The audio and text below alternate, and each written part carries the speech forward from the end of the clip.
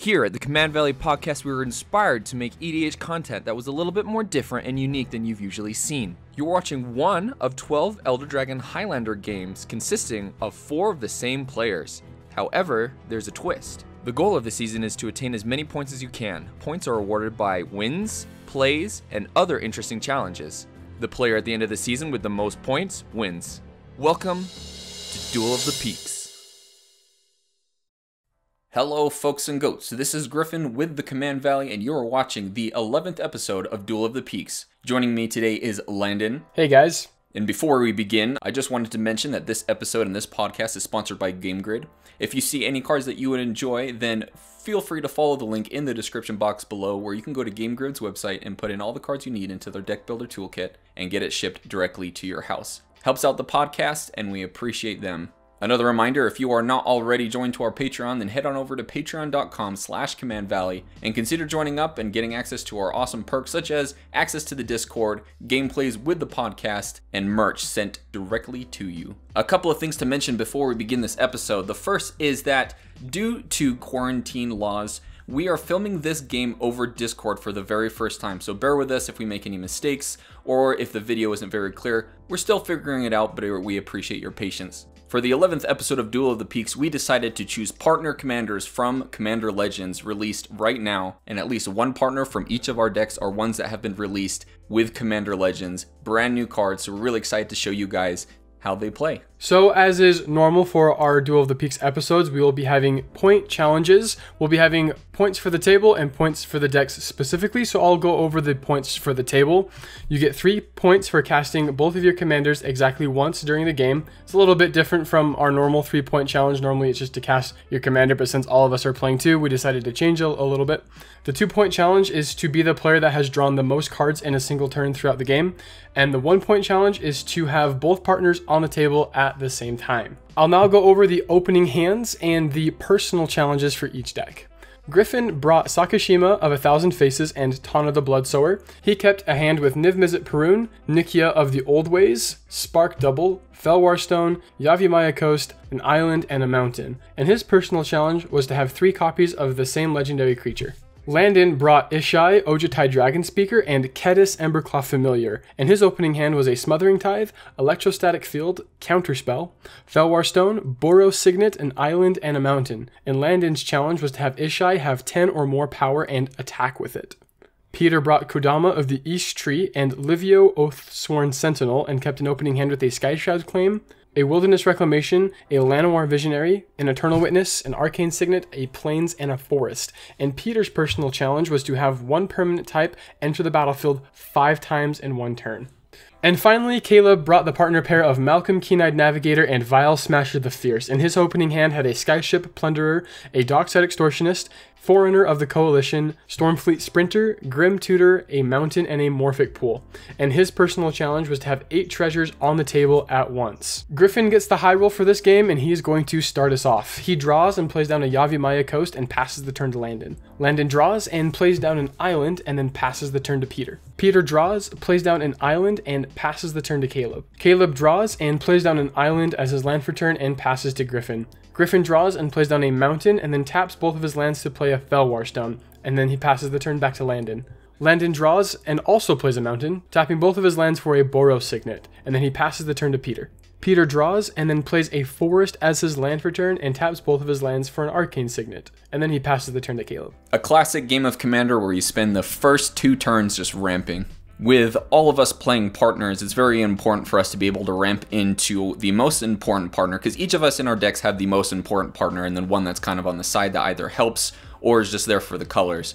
So ramping ramping for the first three turns is very important, and you'll see this throughout the game. Kaleb draws and then plays down a Morphic Pool as his land for turn and taps out to cast Skyship Plunderer. With nothing else, he passes the turn to Griffin. Griffin starts by untapping and drawing and playing down an island as his land for turn. He then taps 3 mana to cast Temur Ascendancy, which will give all of his creatures haste, and he'll be able to draw a card whenever a creature with power 4 greater enters a battlefield under his control. This is really important for Griffin's deck. A lot of the creatures that he has in this deck are all very powerful and are above 4 power. So to get this out on turn 3 is something that's going to set him up really nicely throughout the game. And haste. Don't underestimate haste. Landon untaps and draws and plays Inspiring Vantage as his land return and taps all of his mana to cast Ishai, Ojutai Dragon Speaker from the command zone. This is exactly where Landon wants to be. Casting his commander on turn 3 make sure that he's going to get counters from his opponents and start getting really big very quickly, especially since the first couple of turns are just setting up. Peter untaps and draws and misses his third land drop, unfortunately, and taps all the mana that he can to cast Elvish Visionary. And Peter draws a card from the Visionary's Enter the Battlefield trigger, and he is now leading at two cards drawn in one turn, which is the most. And with nothing left to do, Peter passes the turn to Caleb. Kaleb untaps and draws and plays down a mountain as his land return and pays 3 mana to cast his commander from the command zone, Malcolm. He then goes to combat, swinging the Skyship Plunder at Peter for 2 in the air. Peter, with no blockers, takes it, going down to 38. This will trigger Malcolm, dealing damage, and Kaleb is going to make a treasure token. With no further actions, he passes the turn back to Griffin. With Kaleb following suit and casting his commander, with just that one treasure, you can see the potency that Malcolm can create throughout the game. With all of these pirates attacking, he will get a treasure token for each of them, so he is ramping without even casting any mana which is very, very powerful and should not be underestimated. Griffin untaps and draws and plays down a mountain as his land return, and then taps all of his lands to cast Nikya of the Old Wise. Ishai is going to get another counter from this, and Temur Ascendancy will trigger, seeing a creature with power 4 greater enter the battlefield, causing Griffin to draw a card. And then Griffin heads straight to combat, since the Ascendancy is giving Nikya haste. He then swings it at Peter for a total of 5 damage. Peter takes it, going down to 33. With nothing left to do, Griffin passes the turn back to Landon. Landon untaps and draws, and then plays down an island as his land for turn. He then taps two more mana for a Fellwar Stone, and then taps the rest of his mana for a Smothering Tithe. Ishai at this point is a 4-4, and Landon decides to take a little bit more time before he starts swinging out with it. So he passes the turn back to Peter. Landon's thoughts here were he was nervous casting Ishai without any mana open since he couldn't protect it with his counterspell. So casting that Smothering Tithe, he hoped to get at least two treasures so he could hold up a counterspell to protect Ishai in case any opponents attempted to remove him. Peter untaps and draws, and not paying the Smothering Tithe tax, Landon will get a treasure. Peter then plays down a forest as his land for turn, and then taps 4 mana for a Skyshroud claim, tutoring up a Canopy Vista and a forest that will enter the battlefield untapped. He then uses two of his mana to cast Livio from the command zone and then ends the turn. Peter very happy with this play since he had missed that land drop. It was very important for him to to get ahead. So the Skyshroud claim is going to put him in a nice spot even after that missed land drop. Kaleb starts his turn by untapping and drawing, and then gives Landon another treasure since he doesn't want to pay the Smothering Tithe tax. He then plays an island as his land for turn and then taps 3 to play Stormfleet Sprinter, which will give Ishai another counter. Stormfleet Sprinter does have haste, so Kaleb is going to go to combat swinging Malcolm at Griffin, Stormfleet Sprinter at Landon, and the Skyship Plunderer at Peter.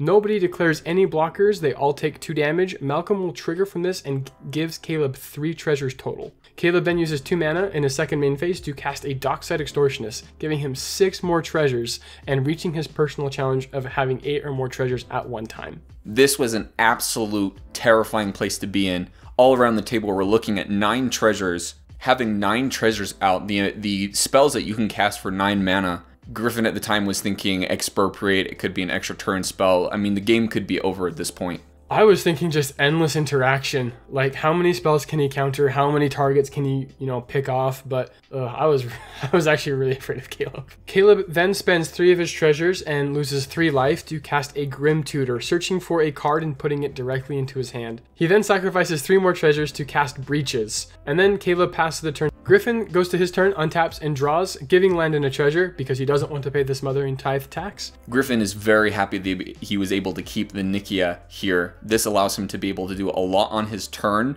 and really get in the head in the game. So enjoy this turn. He then only has to tap two of his lands with the extra mana from Nikya to cast his commander Sakashima of a Thousand Faces.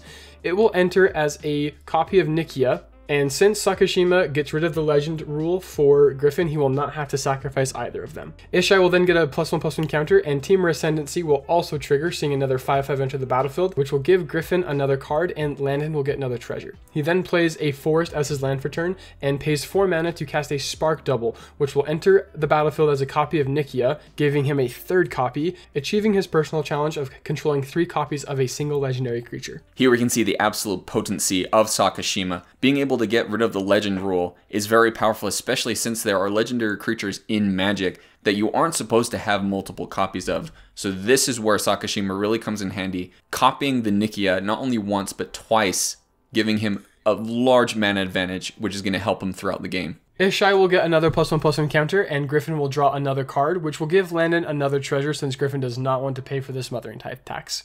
Griffin then taps 8 mana, using 6 of it to cast Niv Mizzet Parun, giving Ishai another counter, and drawing Griffin another card, and giving Landon another treasure. Niv Mizzet then triggers, seeing Griffin having drawn a card, and Niv Mizzet will point 1 point of damage at the Skyship Plunderer, killing it. Griffin is now winning the two point challenge, having drawn four cards in a single turn. He then heads to combat, swinging two of the Nikyas at Kaleb and one Nikya at Peter. Neither of them will declare any blockers and they will take all the damage. With Griffin casting that Niv Mizzet, his idea was actually just hold up a blocker for Ishai. With Ishai getting so big and the table not honestly realizing how big it actually is, especially with Landon's partner, making sure that he can just deal that damage to each other opponent, is starting to get very scary. So that Niv Miz is simply there just hold back Ishai. In Griffin's end step, Landon responds, sacrificing three of his treasures to cast a generous gift targeting Niv Mizzet. Niv Mizzet will trigger, giving Griffin a card having seen a spell being cast and will ping Landon in the face for one damage. Niv Mizzet will be destroyed and Griffin will get a 3-3 elephant, and Landon gets a treasure token for Griffin not paying the Smothering Tithe tax. Landon had two choices here when he casted the Generous Gift. He could either target one of the Nikyas, which are obviously causing a lot of havoc on the board, or he could target the Niv Mizzet. He chose Niv Mizzet because his other commander, Kediss, was only a 1-1, so only took one trigger off of Niv Mizzet to be able to ping it and kill it, which Landon really didn't want to happen, so he elects to kill the Niv Mizzet. Landon starts his turn, untaps and draws, and then uses four of his treasures to cast Firebrand Archer and Electrostatic Field. Following that, he then casts a Frantic Search, which will trigger both the Firebrand Archer and the Electrostatic Field, dealing 2 damage to each of his opponents. He then gets to draw 2 cards, discard 2 cards, and untap 3 lands. He then pays 2 more mana to cast his other commander, Kediss, Emberclaw Familiar, and then gets his 3 points for casting each of his commanders once, and 1 more point for having both of his commanders out at the same time. He then goes to combat, swinging a 14-14 Ishai at Griffin. Griffin is unable to block, taking 14 damage right to the face, which will trigger Kediss, seeing Ishai dealing combat damage, and it will do 14 damage to his other two opponents, Kaleb and Peter. Landon then gets 2 points for hitting his personal challenge of getting Ishai super big and then attacking with it, netting 6 points in a single turn. He passes to Peter. This is where the table realizes what a potent threat Ishai is. With 14 damage in the air, Landon will only need one more turn to be able to wipe out his opponents if somebody does not deal with Ishai. But then again, Landon is holding up a lot of mana. We know he has a counterspell in hand. Having the counterspell up in hand, he's really hoping to save Ishai from any sorts of removal and then win on his next turn. Peter goes to his turn, untaps, and draws, giving Landon another treasure since he does not want to pay the two. He then pays 6 mana to cast his other commander, Kodama of the East Tree, giving him 3 points for having cast both of his commanders and 1 point for having them both out. Ishai will get a plus 1 plus 1 counter from seeing Kodama getting cast, and Peter has nothing else to do and passes the turn to Kaleb. Peter sits back and looks at the board, not loving his turn, simply because all of his other opponents are really popping off, and it's going to take another turn or two for Peter to be able to go off with that Kodama. So he's really hoping that maybe the opponents sort with each other out and he can come out the next turn and pop off. Kaleb begins his turn, untaps and draws, and gives Landon another treasure for not paying the tithe. He then plays Dragon Skull Summit as his land for turn. Kaleb then goes into combat, swinging Breaches at Griffin, Malcolm at Landon, and Stormfleet Sprinter at Peter. None of them are blocked, and Griffin will take 3 damage from Breaches, and Landon and Peter will both take 2 damage. Breaches and Malcolm both trigger. Malcolm gives Kaleb 3 treasures, and Breaches will exile the top card of each opponent's library. He hits an Arcane Signet, a Talisman of Progress, and a Llanowar Elves. Kaleb then has an opportunity of casting these spells, spending mana of any color until the end of the turn. Breaches exiling the top card of each opponent's library is a very powerful effect. Every single player has some very scary things in their deck, so to pull off mana rocks and mana ramp from each of their opponents was pretty disappointing, especially with all the mana that he had up with his treasures. He then taps 3 mana for a Forerunner of the Coalition, finding a Lightning Rig crew and puts it on the top of his library. He then pays 3 mana to cast his other commander, Vial Smasher the Fierce, and he gets his 3 and 1 point challenge. He then sacrifices a treasure and casts Peter's Llanowar Elves from Breach's ability, and with nothing else, Kaleb passes back to Griffin. Untapping here, Griffin has a lot to think about. Nobody has removed any of the Nikyas or casted a board wipe, so he has access to a lot of mana. Now he knows that the Ishai on Landon's side of the board is swole, huge. He's going to be able to take Griffin out even without swinging at him by swinging at another opponent. So he has to be able to either change the game to a point where Landon isn't going to win, or he has to win this turn. He also knows that Landon has a lot of mana open with all the treasures that he's made. He also knows that Landon is playing blue, which means he is playing interaction because that is Landon. So this turn is very tricky and he has to tread very carefully and play his cards right. He then pays 5 mana to cast Teferi, Mage of Zalfir, to ensure that no one can interact with anything that he's going to be doing during the rest of his turn. So what's running through Griffin's head here is just one thing. He needs to bait out that counterspell from Landon. Now the way of doing this is by casting this Teferi, because if the Teferi resolves, that means nobody can cast spells during his turn, or Landon has to spend a counterspell on the Teferi so that Griffin can proceed to move his plan forward on his turn. Seeing that Landon did not cast a counterspell on the Teferi, I will say surprised Griffin, and it ensured that his turn would not be interacted with, which was very important. Landon choosing to let it resolve feels a little bit of regret because previously he had discarded a Chaos Warp to the Frantic Search, wishing he had held that Chaos Warp in his hand so that he could respond to the Teferi by Chaos Warping the Temur Ascendancy knowing that that is the thing that is going to help Griffin win the game quickly is by his creatures having haste and the card draw that he's getting from creatures entering the battlefield. He follows up Teferi with a Thunderfoot Baloth, which is going to trigger Temur Ascendancy, giving him a card. He then pays another 6 mana to cast Progenitor Mimic, which will enter the battlefield and copy the Baloth, giving Griffin another card. He then pays 4 more mana to cast an Altered Ego, which enters the battlefield again as the Thunderfoot Baloth, drawing Griffin another card.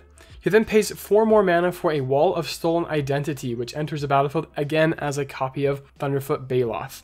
When the Wall of Stolen Identity enters the battlefield, it will actually tap down the Baloth, but he gets to draw another card still. So this is exactly what Griffin wanted. He needed to bait out the counterspell or stop the counterspell so that he could cast this Thunderfoot Baloth to be able to get all these copies of it to buff his team up. From all of this, Ishai gets another 4 counters and Landon accumulates 4 treasures from that. Griffin then goes to combat, and since he has four copies of Thunderfoot Baloth and he controls his commander, all of his creatures are going to get plus 8, plus 8, and trample. All of his creatures have haste from Temur Ascendancy. He swings 3 Nikyas and Teferi at Landon for a total of 51 damage, a Thunderfoot Baloth at Peter for 13, and the last Thunderfoot Baloth and the Elephant at Kaleb for a total of 24 damage, which is enough to kill his three opponents and giving Griffin the win. Peter actually elects not to block, even though he had enough to block the Thunderfoot Baloth. He would have to put his Kodama in front of the Baloth, meaning he had to spend another turn to cast it. He figured that at this point he was out of the game and it was too late. All right, good job, Griffin. Round of applause for you.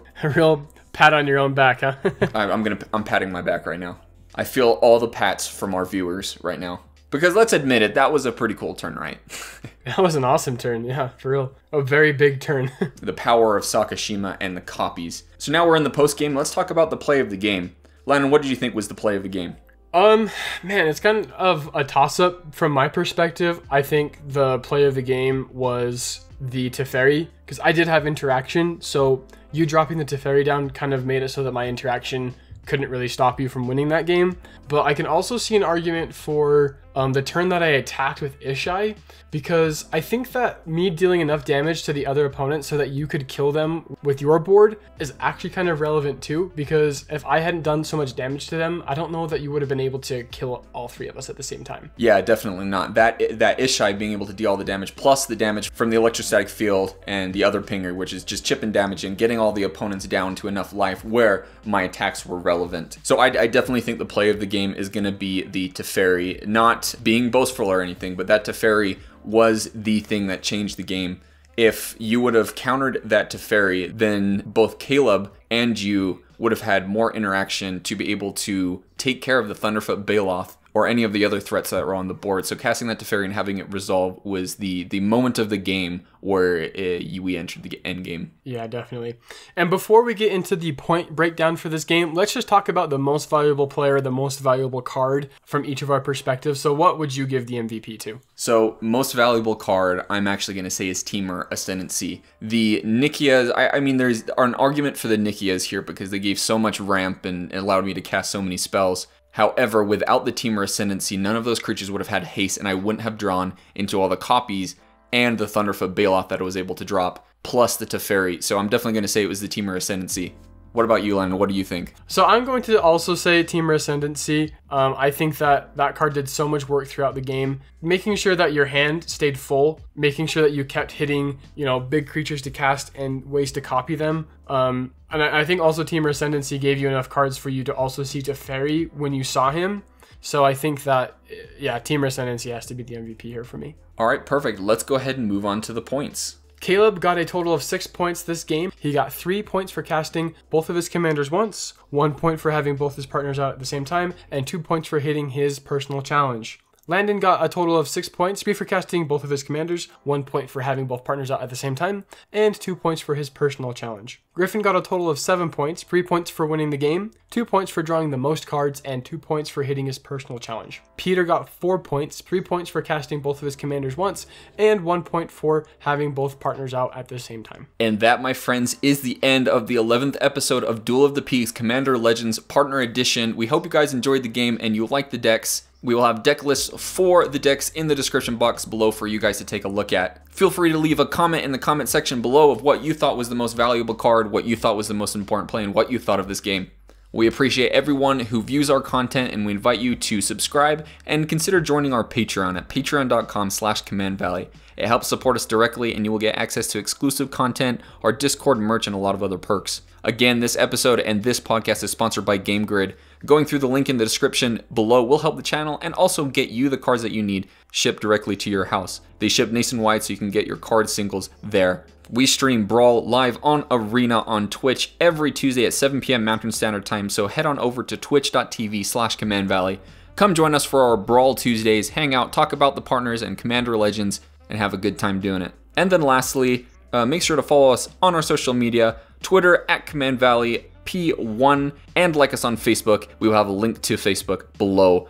I would also just like to give a huge thank you to all of our subscribers and all of our patrons. We really do appreciate you guys and we love the community that we've built around us and we hope that more of you become a part of this community. We have a ton of fun over on our Discord. We, and we here at the Command Valley hope that you guys have a wonderful week. Stay safe out there, guys, and we will see you for the next episode, the finale of Duel of the Peaks.